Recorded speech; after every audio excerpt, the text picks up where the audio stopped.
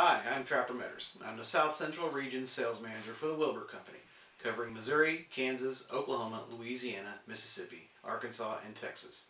With 30 years in the fire service and 19 years working as an OEM, I know how important it is to have adequate and proper scene and work lighting.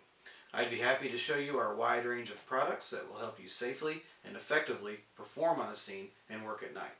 Feel free to call or email me if you have any questions or would like a demo on any of our products.